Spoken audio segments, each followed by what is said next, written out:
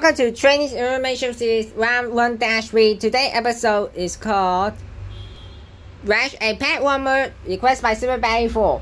This one will be one of who's Kristoff. So if you, if you get smashed the pegwarmer, you can get hit, you missed, you'll make your zero point and you hit it, there will be one point. You get you get you win you have you win you lose a five penalty. Alright, so let's go do it.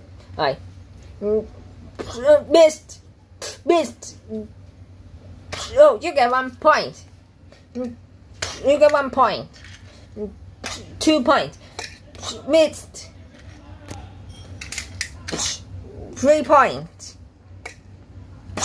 Two points. Three points. Missed. Missed.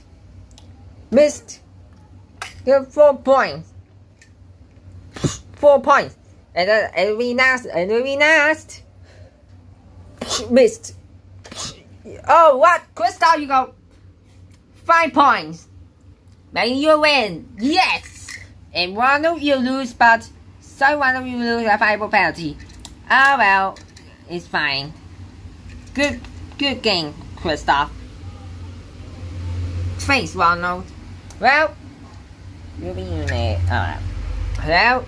So, for either Krista or Wano to be remembered, remember, Wano have 5 penalty. And catch you next time and fantastic service. Peace out.